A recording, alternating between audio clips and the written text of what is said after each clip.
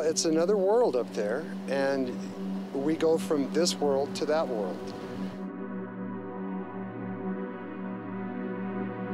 It was interesting to me that you could go to the top of this 20, 30 foot hill, put this thing on your back, start walking, then running down the hill, and suddenly you're floating above the hill. You're floating 10 feet above the hill, and suddenly 100 yards just went by.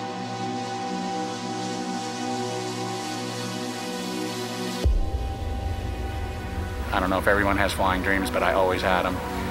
And this was the realization of those feelings.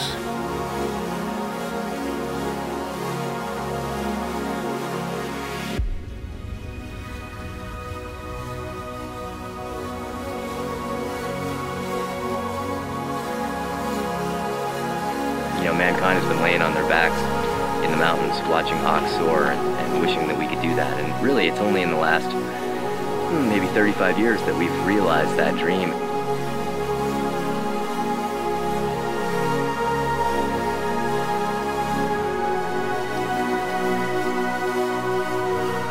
Hang gliding satisfies the, the dreams I had as a kid when I dreamed of flying.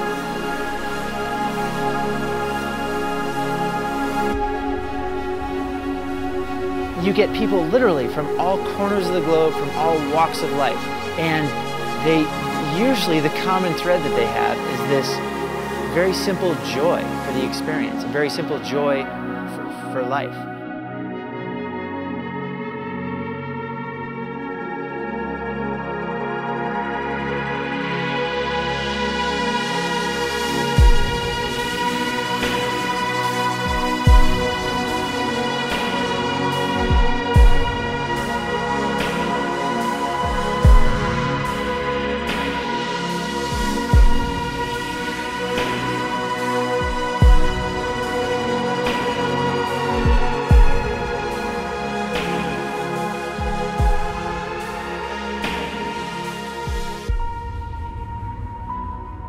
When I realized that you can just clip onto something, run off a cliff, and fly, I just lost it. Pictures of him all over his shop flying hang gliders. And yeah, I was just a dumb 17 year old kid. And I said, ah, I want to do that.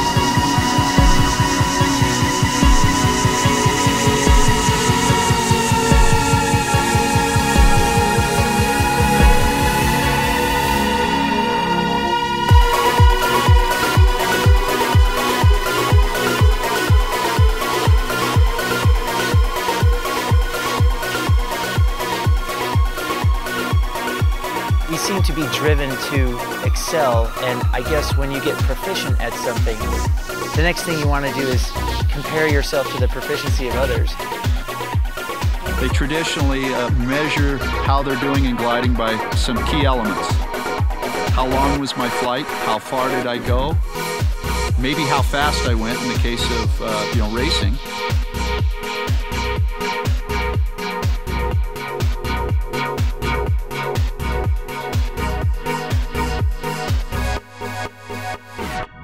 Race is a timed event from launch two miles south to a turn point. The pilots will need to round that turn pylon and race back as fast as they can.